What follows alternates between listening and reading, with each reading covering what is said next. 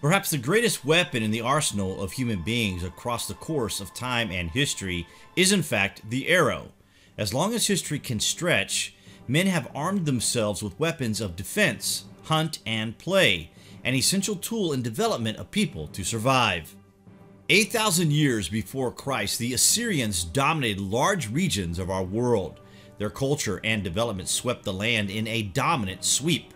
The knowledge they brought to the Near East punctuated a sudden explosion of hope, and this includes the use of arrows. They came, they conquered, and when they left, others rose up by simply implementing the study of the things that came to pass. Wait, do you hear this?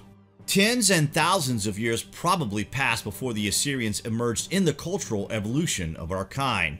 During that time, arrowheads were in constant use, but the Assyrians are responsible for one of the most dramatic adaptations of a tool or weapon that the world had ever seen.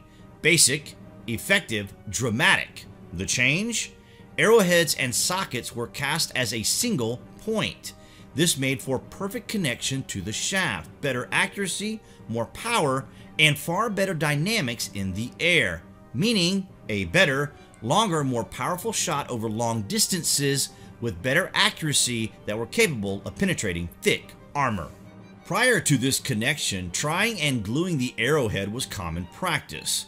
The more reliable Assyrian method is far more lethal in every manner and aspect. A simple change, but a dramatic change that would see the Assyrians rise up to great heights in the game of empires. Archaeologists studying the phenomena at Tel Aviv University recently completed assembling a full guide to ancient arrowheads.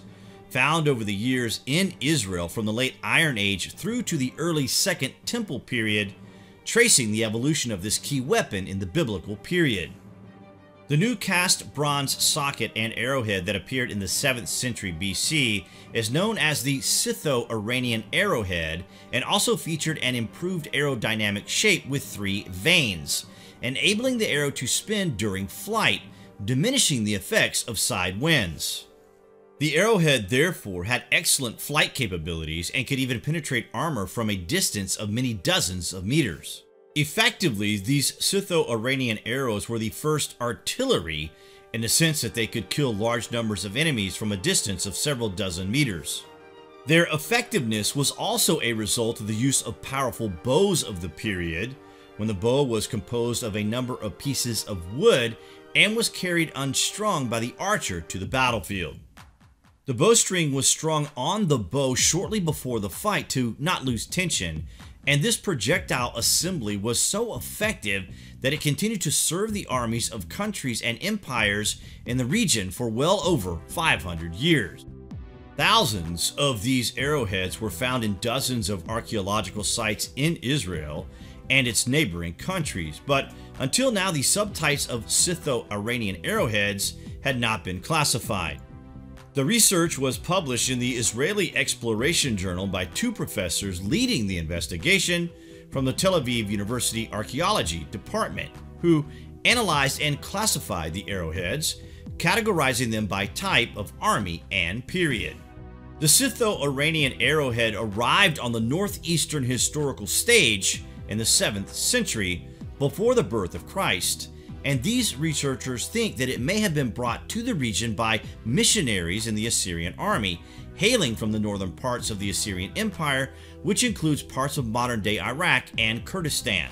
Later, this arrowhead was adopted by mighty Babylonian soldiers who rebelled against Assyria and established a new empire.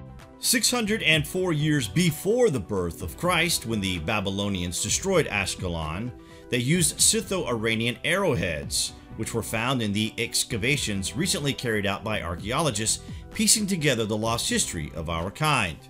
However, the archaeologists did notice that the arrows found in Jerusalem from the year the first temple was destroyed, 586 BC, less than 20 years after the conquest of Ashkelon, were a variant type of the Scytho-Iranian arrow, even though this was the same army. According to the Babylonian inscription, in 601 the Babylonians tried to conquer Egypt and failed, and the entire army was defeated and retreated. 600 years before the birth of Christ, Nebuchadnezzar writes in the Babylonian Chronicles that he is not going on military campaigns and instead he is rebuilding the army. The result of this rebuilding are the arrows we find in Jerusalem, which are more sophisticated. Later, bronze socketed arrowheads would be adopted by the Persian Empire, which employed them in its war with the Greeks, with many such arrowheads being discovered in the battlefield at Marathon. This type of projectile technology would only be superseded with the advent of Alexander the Great. Over time, the empires improved their manufacturing capabilities for arrowheads, as the great games of old played out people's lives as if they were nothing, which actually became more standardized at the time. It seems they came from imperial factories that produced the weapons. The improvement was seen in the development of different types of arrowheads. One type was intended for penetrating body armor. Another type had barbs that made it difficult to pull out of the body, which would cause a serious wound. And a third type was meant for more accurate fire from a great distance. This type of artillery until the firing engines arrived in the 4th century BC, such as the catapults and the ballista. This is a decisive weapon. Imagine a rain of arrows. Imagine just the noise it makes. It creates a very powerful effect. One of the researchers was quoted as saying, It's like finding a bullet from an M16 or Kalashnikov. You can learn from it not just about these weapons, but also who were the soldiers who were here. It is possible to connect it to certain armies and certain periods, and I am already receiving requests from archaeologists in Jordan, in Israel, and other places, asking me about the dating and identification of the arrowheads they found. Now, when you find an arrowhead, it gives you a lot more possibilities to analyze and understand it.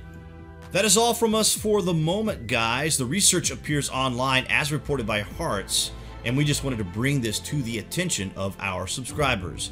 Comments below, and as always, thank you for watching.